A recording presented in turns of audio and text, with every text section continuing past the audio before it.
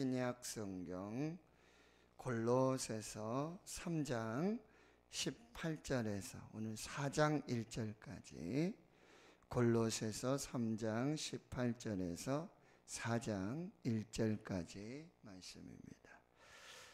신약 성경 327페이지 골로새서 3장 18절에서 4장 1절까지 하나님의 말씀 함께 읽도록 하겠습니다.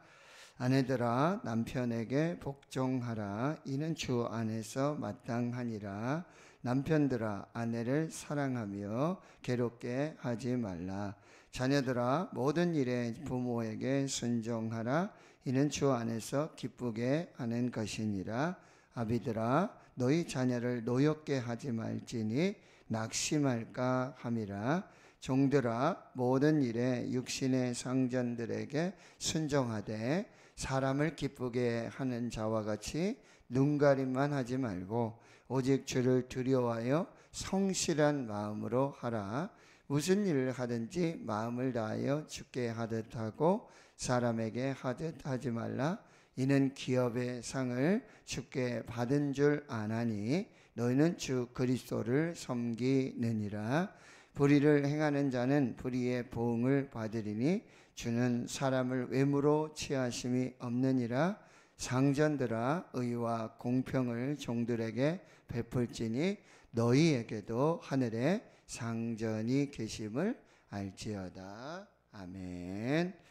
이제 사도 바울은요 이제 골로새 교회에 또 새 생명 그리고 새 삶, 새 사람을 입은 이 복음의 사람이 어떻게 살아야 하는지를 말씀해 주고요. 특별히 이 가정에서 그리고 사회에서 즉 가정과 또 일터에서 각자 각자 그 삶의 위치와 지위가 있습니다. 가정에서 이 아버지 또 어머니 즉 부모 그리고 자녀로서 또 사회에도 보면은 주인이 있고 종들이 있고 당시 골로새 교회 로마 시대에도 보면은 이 그리스도인들 중에 이 주인으로서 그리스도인이 된 사람이 있어요.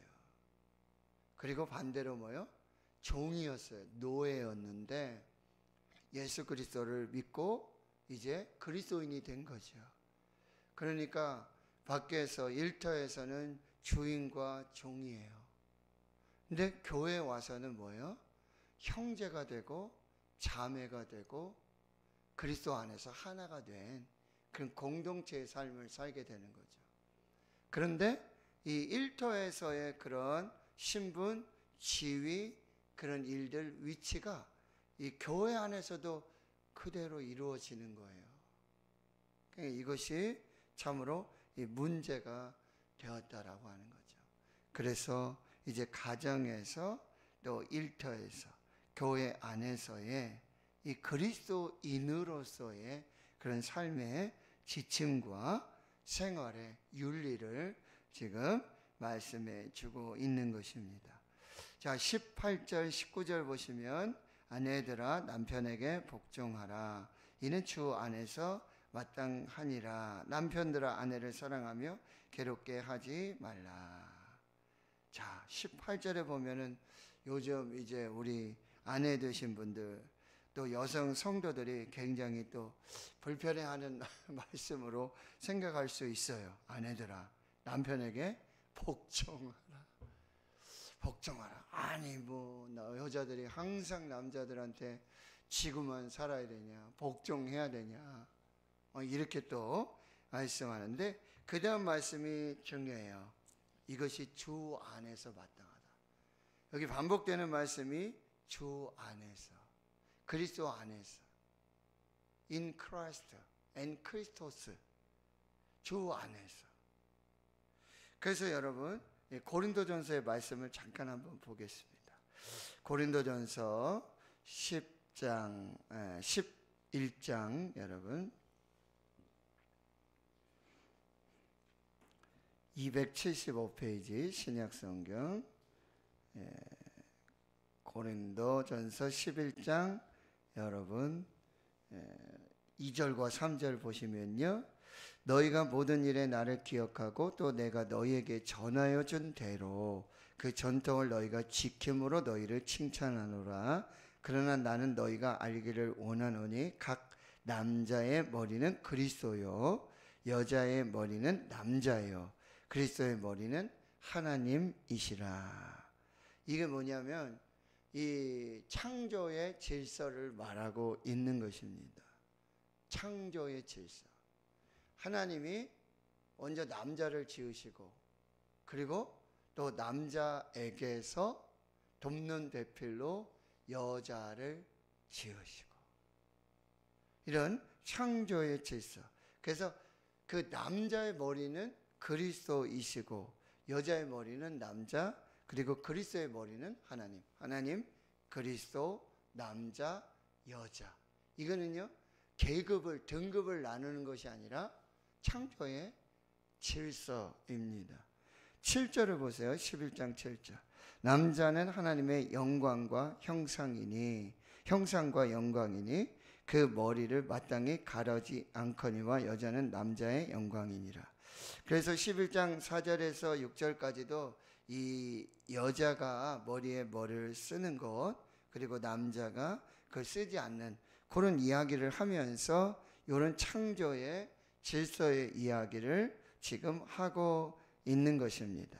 8절을 보세요. 남자가 여자에게서 난 것이 아니요 여자가 남자에게서 났으니 또 남자가 여자를 위하여 지음 받지 아니하고 여자가 남자를 위하여 지음을 받은 것이니 그러므로 여자는 천사들로 말미암아 권세 아래에 있는 표를 그 머리 위에 둘지니라.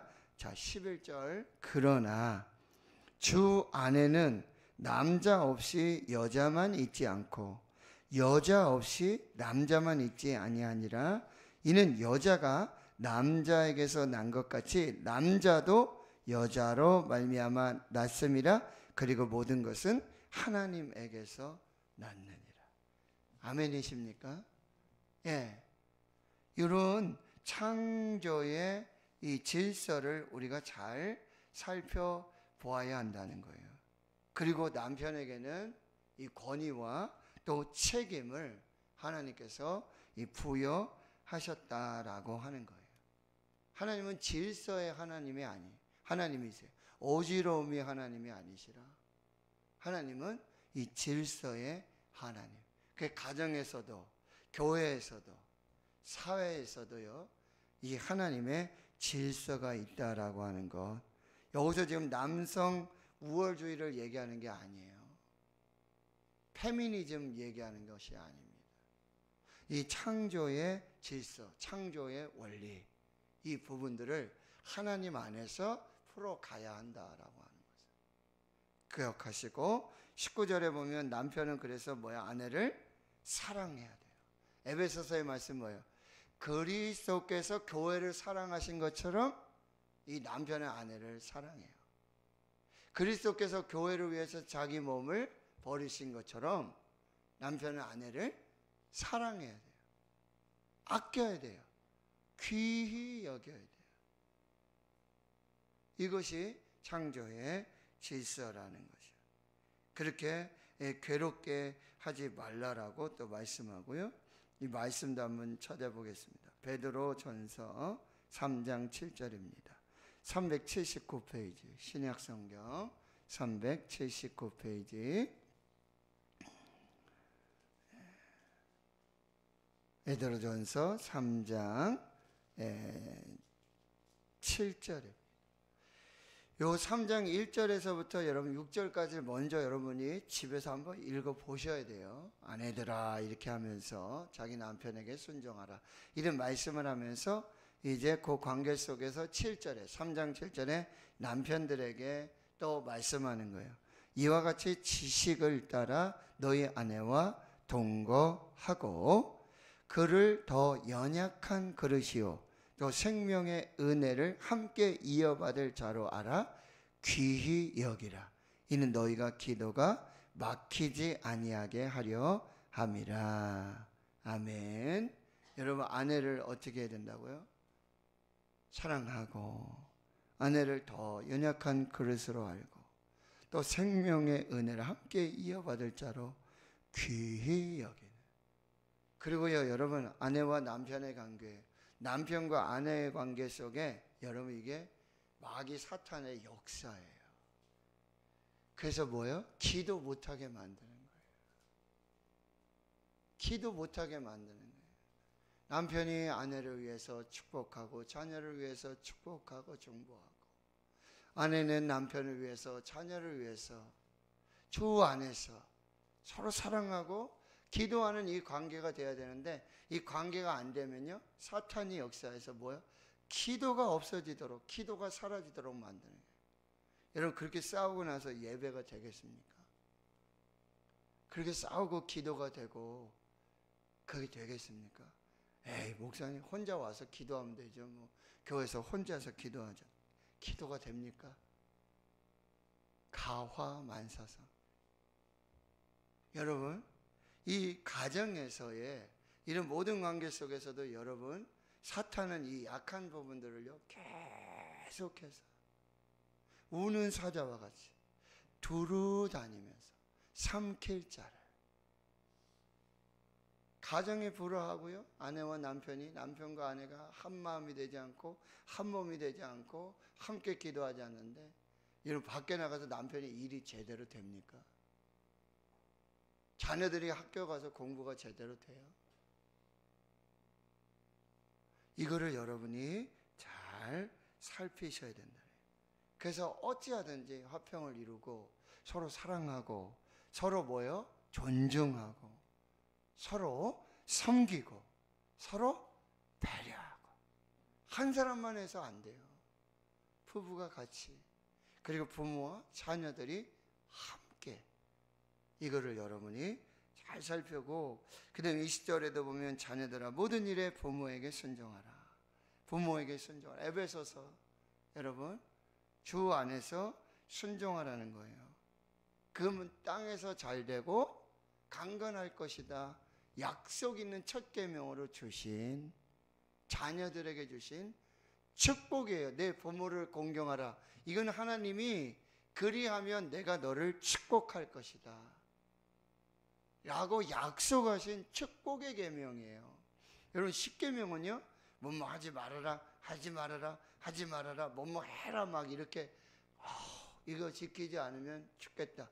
그게 아니라 십계명은 사랑의 사랑의 계명이고 십계명은 축복의 계명이에요.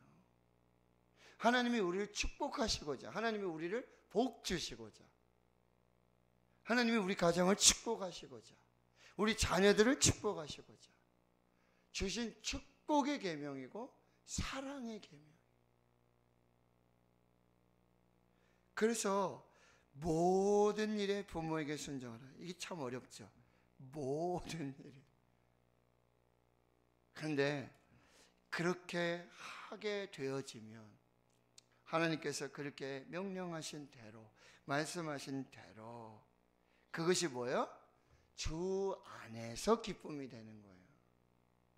주님을 기쁘시게 하는 거예요. 여러분, 부모를 공경하고 부모를 존중하고 부모를 사랑하는 건 이거는 부모를 기쁘게 할 뿐만 아니라 하나님을 기쁘시게 하는 거예요. 주님을 기쁘시게 하는 거예요. 그래서 뭐예요? 땅에서 잘 되고 장수하는 복으로 하나님이 갚아주시는 거예요. 부모를 사랑하고 부모를 공경하고 부모를 인정하고 부모를 존중하고 그래서 부모에게 순종하고 그러면 하나님이 기뻐하시는 거예요. 주님이 기뻐하시는 거예요. 그래서 축복하지 않을 수가 없는 이 원리를 우리가 잘 살피고 21절에 아비들아 너희 자녀들을 노엽게 하지 말아라. 이 노엽게 하다라는 얘기는 이 강압적으로요. 어떤 방식으로도 반응하지 하지 않을 수 없도록 자극하는 것. 자녀들을 이렇게 해서 뭐 회유하기도 하고 이렇게 타협하기도 하고 뭐 이렇게 하는데 자녀들이 그걸 기쁨으로 자원함으로 즐거움으로 해야 되는데 어쩔 수 없이 그래서 그 다음에 뭐예요? 그 일 때문에 낙심이 된다는 거예요. 이 낙심이란 뭐냐? 요즘 우리 아이들 자존감을 키워줘야 된다. 자신감을 올려줘야 된다. 그래서 너무 교만해서는 안 되겠죠. 그러나 우리 부모님들이 그들의 자존감, 자신감, 자아의 정체성마저 우리가 뭐 너는 필요 없는 애야. 너는 존재조차도 여러분 부정하신다면 이게 큰 문제예요. 아니 시편 127편에 하나님 주신 상급이고 기업이고 선물이라고 그렇게 감사하고 매주 매 가정의 달 자녀 주셨다 그렇게 감사하고 하면서 우리가 자녀들에게 이 저한테 하는 소리예요. 너는 필요 없는 애야. 너 왜 태어났니? 너만 없으면 이런 말 회개합니다. 회개합니다. 말은 안 했어도 그런 생각이 들 때가 있었어요? 돼. 내가 얘만 없었어도 말이야. 이거 우리가 회개하십시오. 그걸 아이들이 낙심이 되는 낙심. 키가 죽은 아이로 아무것도 해도 자신감이 없어. 나는 뭘 해도 맨날 아빠한테 혼나고 맨날 엄마한테 혼나고 한 번도 인정받지 못하고. 하, 제가 말씀 준비하면서 얼마나 회개가 되는지. 너는 말이야 목사 아들이 왜 그러냐? 목사의 딸이 왜 그래? 이게 제가 입에 달고 살았던 말이더라고요. 마음으로 아이들을 그냥 막 정죄하고 판단하고 아이들의 기분이나 감정이나 어떤 그런 걸 하나도 생각하지 못하고 그냥 쏘아 붙는 거예요. 교회에서 교회에서 화가 나도 화를 낼 수도 없고 교회에서 막 불편해도 할 수 없으니 집에 가가지고 제가 그걸 다 하고 있는 집에 가서 아내에게 아이들에게 그 화풀이를 다 하고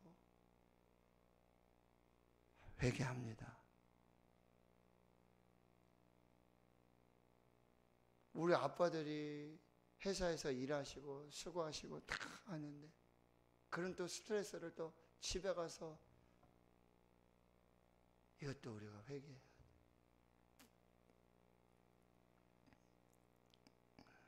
오늘 말씀을 우리가 잘 받았으면 좋겠어요.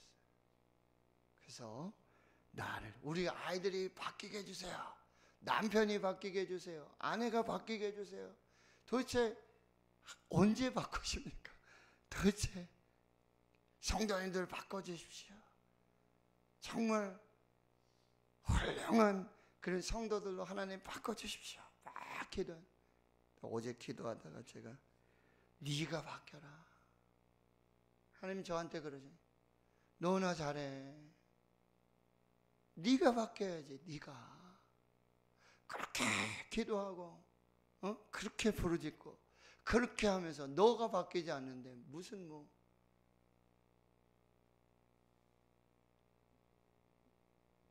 내가 변하면 내가 바뀌면 그러니까 우리 기도의 최고의 응답은 뭐죠? 내가 바뀌는 거예요. 다른 사람 기도로 변화시키려고 하지 말고 내가 이렇게 만들어 놓은 틀 속에 다 규칙을 만들어 규범을 만들어 여기에 맞춰서 하나님 요렇게 바꿔 주십시오. 요렇게 바꿔 주십시오. 그걸 기도 응답으로 기뻐하지 말고 나를 돌아보고 하나님 나를 바꿔 주십시오. 내가 변해야 되겠습니다. 내가 바뀌는 이 최고의 기도 응답이 있는 새벽이 되었으면 좋겠어요. 자, 22절에 종들아 모든 일에 여기도 또 모든 일이죠. 육신의 상전들에게 순종하라. 여러분 여기 육신의 상전이 있다는 얘기는 무슨 얘기죠? 하늘의 상전이 있다는 게 4장 1절에서 말하는 것처럼. 이게 종들에게 주시는 말씀이지만 사장이 된 상전들에게 의와 공평을 종들에게 베풀어라. 의롭게, 공평하게 종들에게 그리고 너희에게도 하늘의 상전이 있음을 기억해라. 그러니까 이 주인들이 육신의 상전들이 막 자기 종들을 정말 종부르듯 하는 거예요.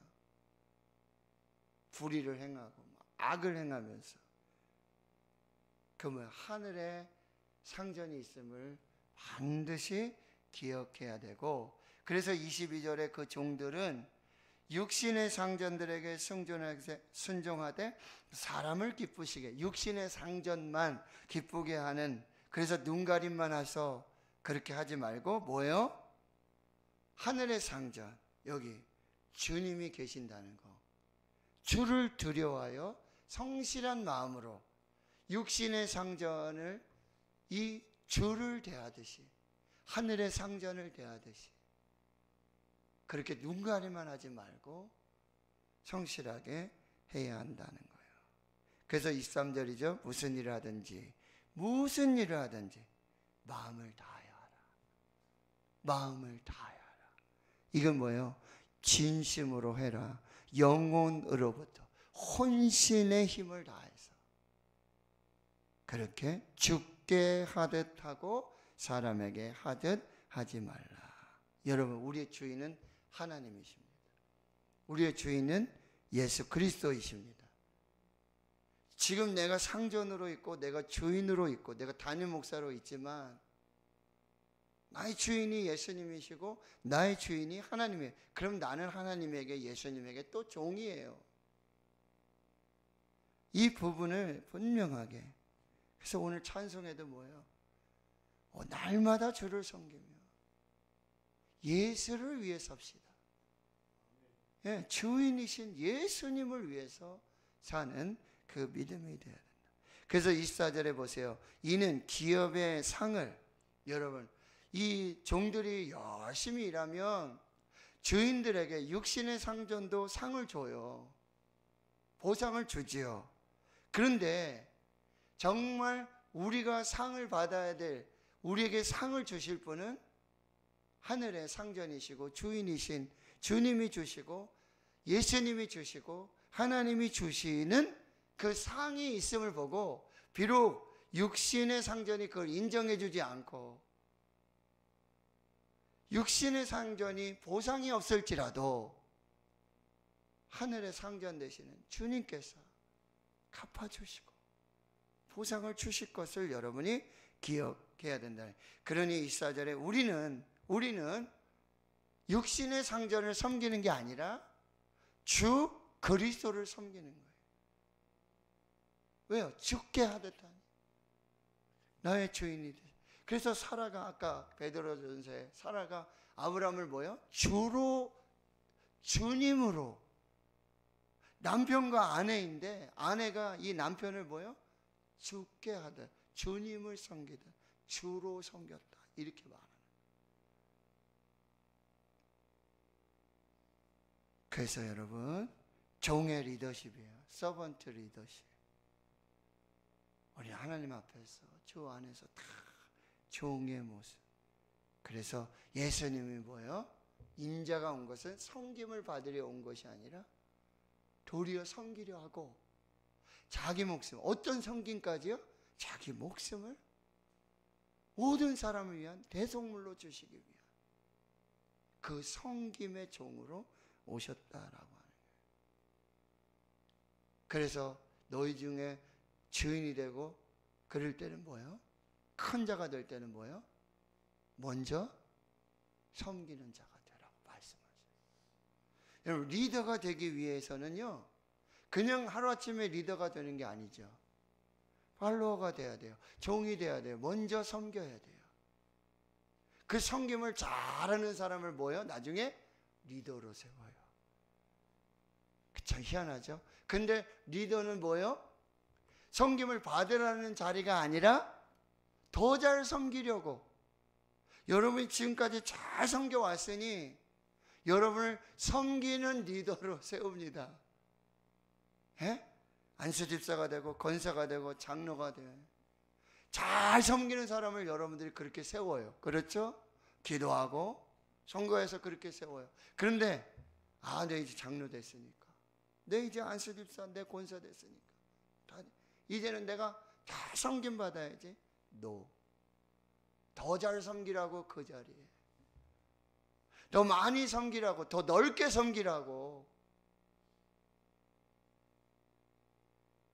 그 자리에 세워주셨다라고 하는 것을 여러분이 꼭 기억하셔야 된다. 25절에 주님은 사람을 절대로 외모로 취하심이 없고 그리고 25절에 다시 보면 불의를 행하는 자는 반드시 하나님께서 갚으세요. 절대 불의를 행하지 않도록.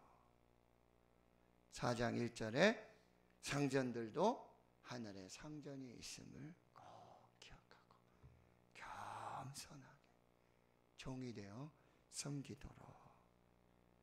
자, 마태복음 10장 말씀 한번 찾아보겠습니다.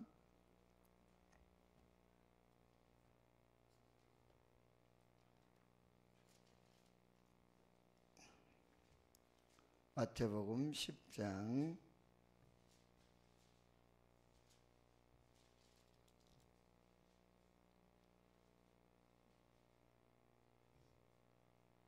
아, 죄송합니다. 20장. 네. 글씨가 잘 안 보여요. 작게 써놓으면. 큰일 났어요. 20장, 26절, 27절. 자, 25절부터 보습니다. 예수께서 제자들을 불러 이르시되 이방인의 집권자들이 그들을 임의로 주관하고 그 고관들이 그들에게 권세를 부리는 줄을 너희가 알거니와. 여러분 세상에서는 이 집권자들, 고관들이 막 권세를 부리고 임의로 막 행하잖아요. 그런데 제자들을 불러서 말씀하셨어요. 25절에 예수께서 제자들을 불러서 제자들은 그 많은 무리들 가운데 리더잖아요. 그렇죠? 내가 예수님의 제자야라는 자부심을 가지고 살 수 있어요. 분명히. 근데 너희는 이방의 집권자들과 그 세상의 고관들처럼 그렇게 권세 부리고 임의대로 그렇게 하면 안 된다는 얘기죠. 자, 26절, 27절. 시작. 너희 중에 그렇지 않아야 하나니 너희 중에 누구든지 크고자 하는 자는 너희를 섬기는 자가 되고 너희 중에 누구든지 으뜸이 되고자 하는 자는 너희 종이 되어야 하리라. 28절 인자가 온 것은 섬김을 받으려 함이 아니라 도리어 섬기려 하고 자기 목숨을 많은 사람의 대성물로 주려 함이니라. 아멘. 자, 23장.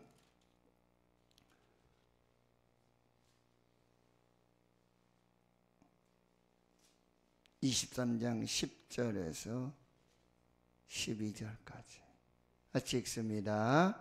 또한 지도자라 칭함을 받지 말라. 너희의 지도자는 한 분이시니 곧 그리스도시니라. 너희 중에 큰 자는 너희를 섬기는 자가 되어야 하리라 누구든지 자기를 높이는 자는 낮아지고 누구든지 자기를 낮추는 자는 높아지리라 아멘 서번트 리더십 종의 리더십 성김의 리더십 시소를 여러분 잘 한번 생각해 보세요 시소 시소는요 뭐가 이기는 거죠 내가 낮아지고 상대방 높이는 게 이게 이기는 게 시소예요. 그렇죠? 시소. 영적인 시소. 하나님 저를 더 낮춰 주셔서 주님을 더 높이고 하나님의 사람들을 더 잘 높일 수 있는 성김의 리더십, 종의 리더십으로 살게 해 주시옵소서. 오늘 주님 주신 말씀 붙드시고 더 승리하시는 역사가 있기를 주의 이름으로 축원합니다.